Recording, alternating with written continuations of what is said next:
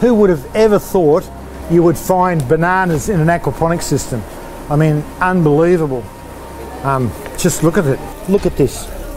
Beautiful mango fruit. There's only one on this tree, admittedly, but to have that in only in its second year is really good because my understanding of mangoes is that they take five to seven years to really start, you know, delivering fruit.